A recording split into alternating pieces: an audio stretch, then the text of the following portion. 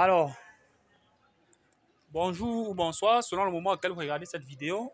On se retrouve ici actuellement chez Monsieur Zoé.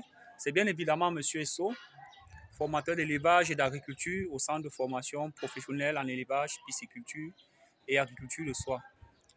Nous venons, n'est-ce pas, vous présenter ici là euh, l'élevage, la mise en place de l'élevage de Monsieur Zoé, élevage des anotons bien évidemment. Donc euh, c'est ici à l'intérieur que nous sommes en train de travailler.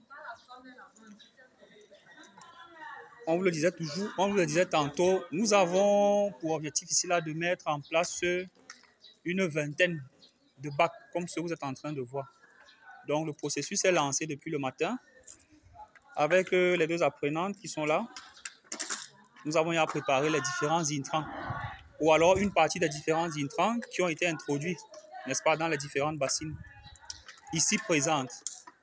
La suite du processus euh, continue d'un peu. Donc, euh, pour vous qui êtes désireux, n'est-ce pas, d'apprendre à, à mettre sur pied un pareil élevage, nous restons disponibles. Nous restons disponibles non seulement pour la formation, nous restons également disponibles pour vous approvisionner en intrants. Donc, tout ce qui est nécessaire, n'est-ce pas, pour la mise en place de votre élevage, c'est-à-dire formation, intrants nécessaires pour la production, que ce soit les géniteurs, que ce soit tout ce que vous pouvez vous imaginer, nous vous approvisionnons et nous installons votre élevage à domicile. Donc, euh, n'hésitez pas à nous contacter en cas de besoin.